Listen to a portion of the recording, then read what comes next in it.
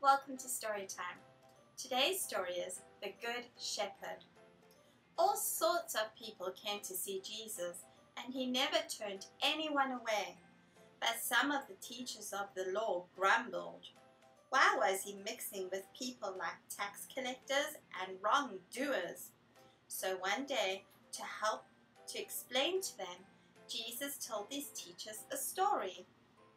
If a shepherd has a hundred sheep, said Jesus, and one of them gets lost, what would the shepherd do? He would leave the other 99 sheep safe in the field and go off to look for the lost sheep. He would not give up looking until he found it.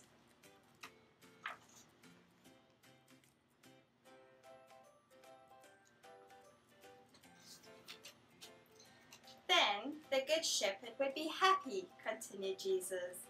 He would lift the sheep onto his shoulders and carry it home, calling to his friends and neighbors to come and celebrate with him, for he had found his lost sheep. It is like that in heaven, said Jesus. I am the good shepherd. I have come to look for people who have wandered away from God, to bring them home to him.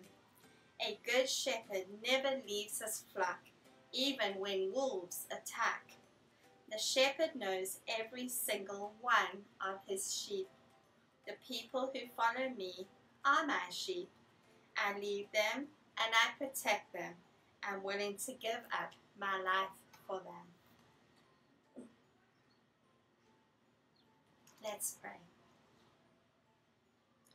Thank you, Lord God, that you are our shepherd. We thank you, Father, that you know each one of us. Lord, that you know each one of us by name.